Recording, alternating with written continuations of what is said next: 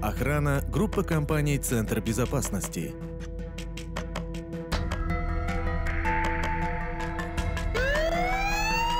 Тревога на объекте. Четвертый принял. Стоять! Лицом к стене! Наша работа – ваша безопасность. Здравствуйте, в эфире Рязанской телекомпании «Город» программы «7 минут».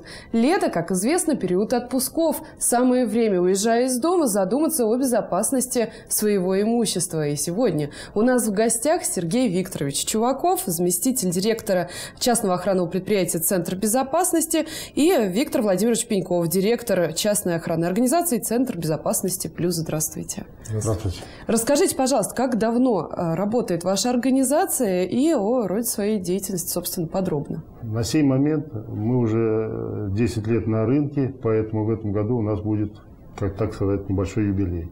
Ну, по э, роду своей деятельности и в соответствии с законом о частной охранной деятельности мы осуществляем э, следующие функции. Это охрана жизни и здоровья граждан, охрана объектов и э, монтаж, эксплуатационное обслуживание – а также э, пультовую охрану э, объектов э, различных форм собственности. Ну, к примеру, скажу, что начинали мы в 2006-2007 году от 12 объектов, сейчас у нас уже более ну, 900 объектов э, находятся под охраной. Объекты различной категории. Есть и продуктовые магазины, магазины по продаже какой-то бытовой техники заканчивая банковскими учреждениями и банкоматами, в том числе э, в городе Рязани и в городе Спасклепики, которые, знаете, мы имеем там э, полноценную группу в составе автотран... автомобиля и двух сотрудников. А вот вообще о целях организации э, предприятия расскажите. Если параллельно проводить, то мы работаем параллельно или с теми же целями, как милиция или подразделение вневедомственной охраны э, РОВД. Э, то есть охрана, первая, еще раз, в соответствии с нашей лицензией, и э, жизни и здоровья граждан, охрана имущества различных форм собственности, а также монтаж и техническое обслуживание системы охраны пожарной сигнализации.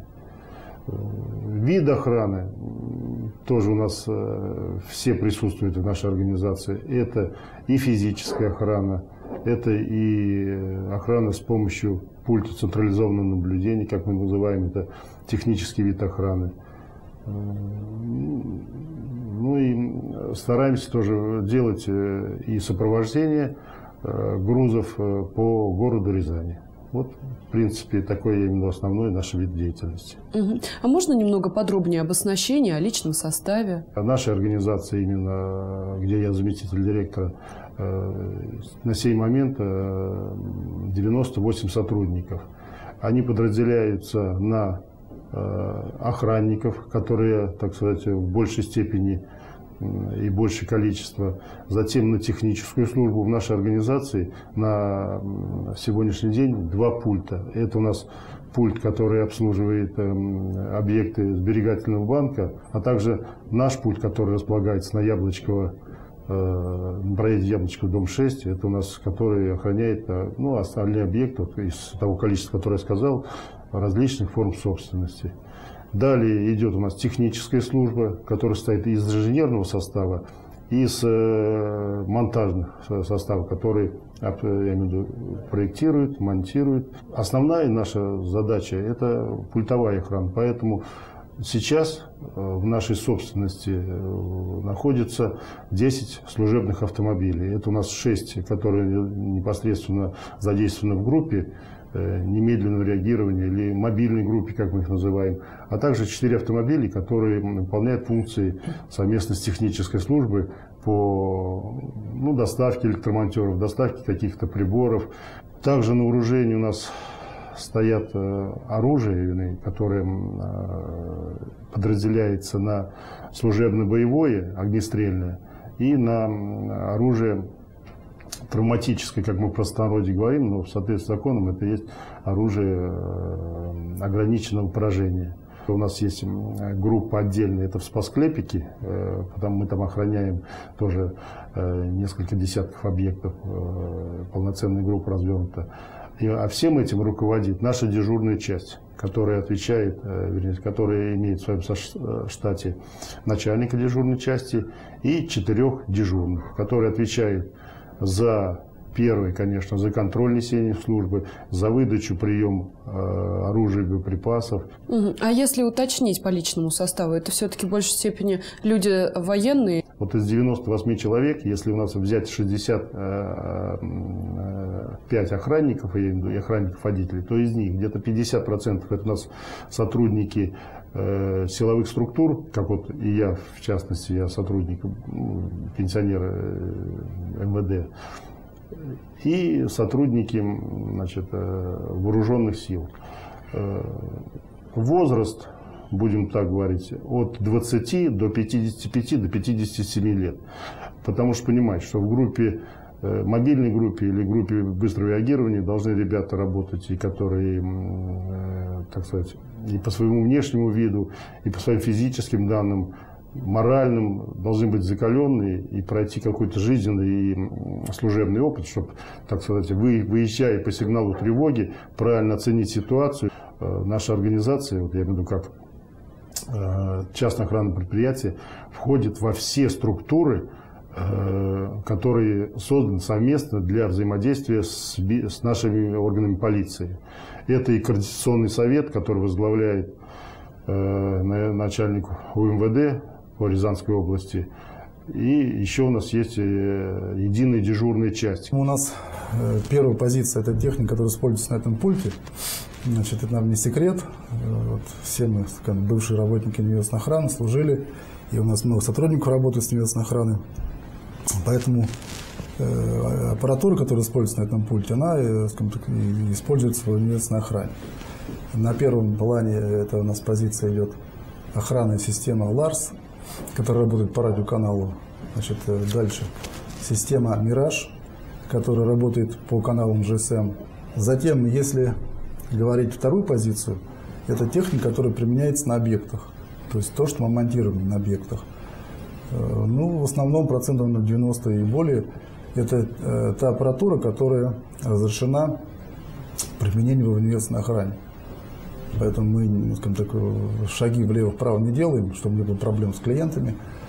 Поэтому мы используем только эту аппаратуру. Ну еще один момент у нас используется в нашей дежурной части, Рич уже отмечал дежурную часть, это система автопоиска. То есть, получив тревожное сообщение дежурного о срабатывании каких-то систем связи и сигнализации на объекте, группа мобильная выезжает, и дежурный наш видит на мониторе как движется экипаж. Само собой разумеется, что у нас есть оружейные комнаты для хранения оружия, которая тоже, э, так сказать, и оборудована, и сдана в эксплуатацию нашим э, контролирующим органам э, со всеми, так сказать, законодательными актами, и которая охраняется подразделением небесной охраны. Да. Это то у нас тоже все в соответствии с законом. А, все-таки у нас в городе, как и в регионе, существуют и иные частные охранные организации. Наверное, стоит отметить вашу конкурентоспособность на их фоне. И происходит ли между вами некое взаимодействие? Это конкуренция, конечно же, в организации, конкуренция в финансовом э, плане аспекте. Но я, да, ценовая политика.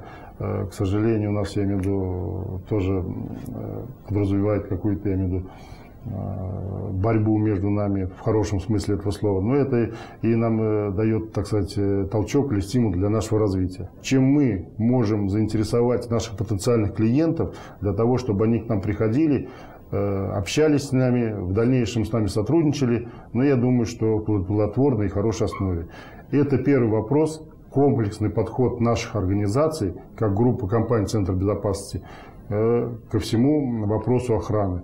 Это начинается э, проектирование, это составление сметы, это продажа оборудования, которое необходимо для ну, или в соответствии с этим проектом. Далее реагирование, само поступление сигнала на пульт, централизованное наблюдение. Ну и, так сказать, как итог, это обслуживание.